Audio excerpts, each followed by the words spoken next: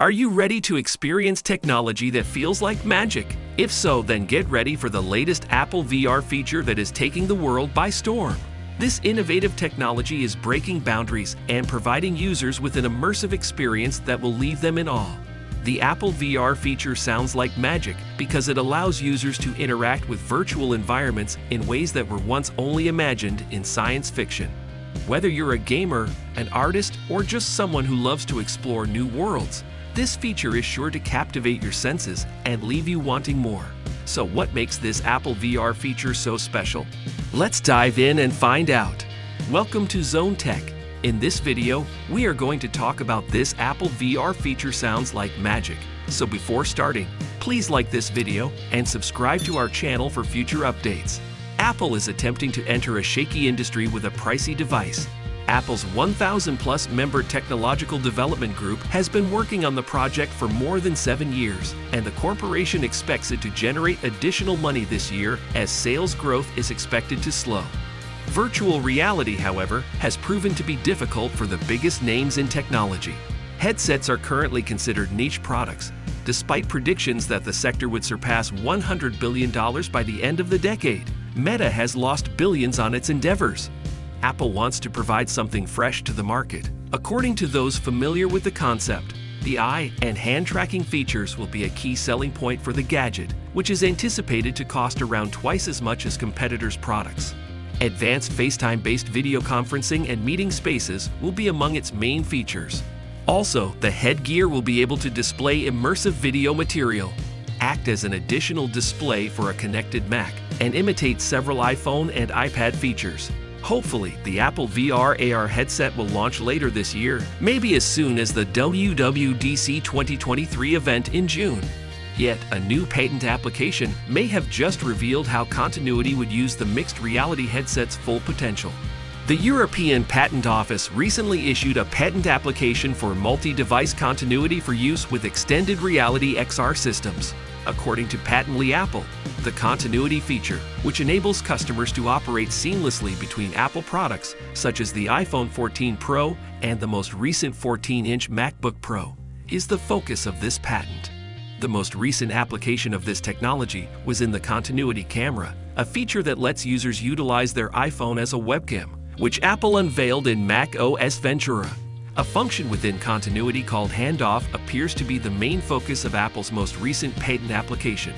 Users can begin a job on one Apple device and continue it on another by using handoff.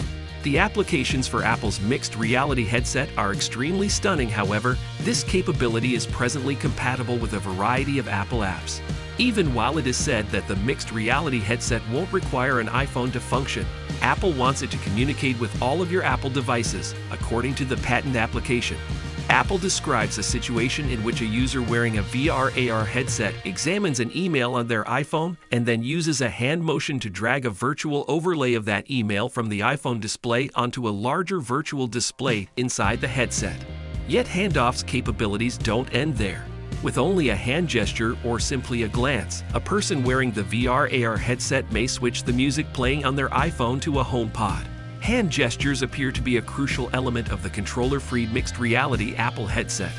Even if it takes a generation or two for mixed reality to become affordable, if the Apple VR AR headset can accomplish this degree of interconnection, it may be the game-changing innovation that mixed reality needs to become widely accepted. Apple's AR-VR headset may include a magical text input system.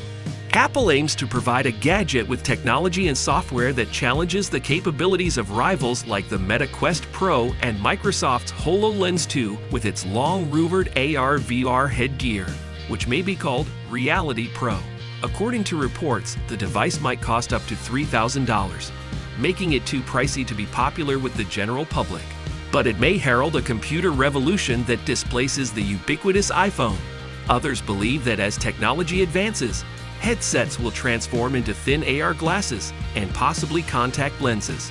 The first generation AR headset will be loaded with several cameras and sensors to meet Apple's high expectations. High definition images will be shown on the dual displays wearers will be able to smoothly transition from virtual to augmented reality thanks to a dial like the digital crown on the Apple Watch. The device, with a waist-mounted battery pack capable of up to two hours of operation at a time, is said to be powered by Apple's newest M2 processor. The alleged in-air typing function makes me think of a complex virtual user interface that has been shown in sci-fi films for decades. The reality, at least as it stands now, appears to be less remarkable. The current test release of XROS, the headset's operating system, enables Apple's first mixed reality to function independently of the iPhone, according to Gurman's Sunday Edition Power on the newsletter. You may therefore configure the headset without associating it with the iPhone. Unlike the Apple Watch, the headset can instantly connect to iCloud and download all of your vital information. Nonetheless, users may choose to attach the headset to the iPhone to utilize the software keyboard on the smartphone because air typing isn't up to par. Apple is expected to improve in-air typing after the public launch of the headset.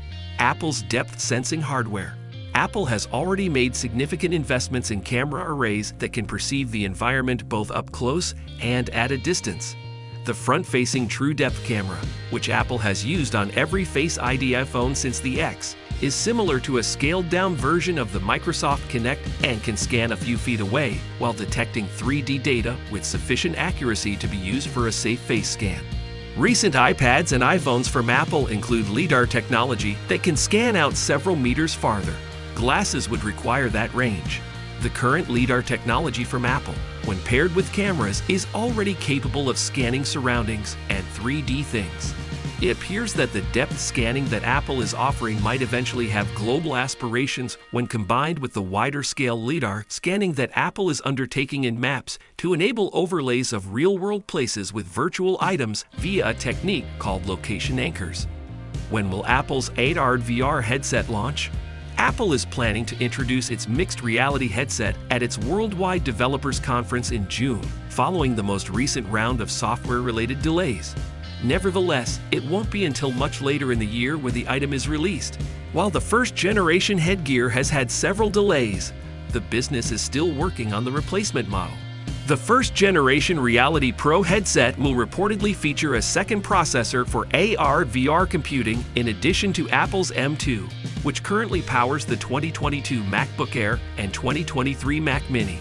Yet at the moment, the processor's graphics performance falls short of Apple's expectations.